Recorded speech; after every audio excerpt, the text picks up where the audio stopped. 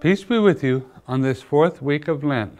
Hello, I'm Deacon Nelson, and I serve at an Immaculate Conception in the Diocese of San Bernardino. Today is Friday, March 27th. Our scripture reading today comes from the Gospel of John. We read in chapter 7, it's the Feast of the Tabernacles, and most people are traveling to the temple for this celebration.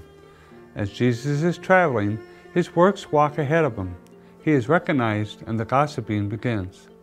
Is this the guy who has the authority or trying to kill? Is this the guy from Nazareth? Do you know who he is? So Jesus speaks up in the temple.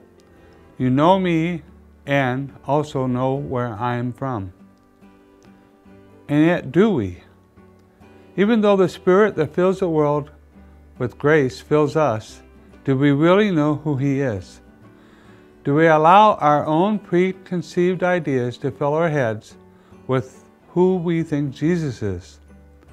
And all we have learned and understand, do we know the Christ and where He's from? I bring this point to you now as a reflection on our lives during this Lenten season. Do all of us realize the changes we need to make in our lives?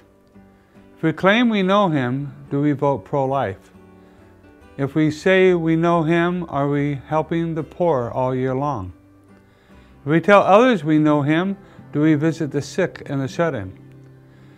If we truly know Him, where He is from, would we be living different lives in how we live this day? Let us pray. Brother Jesus, your Father adopted us, allows us to be brothers and sisters to the truth. Help us today to show the world your existence in us by how we pray, act, and care for all your Father's children. Amen. Thank you for partnering with WordNet.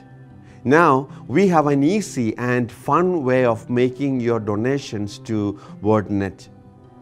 Use the number that is on the screen to text your amount and follow the on-screen instructions.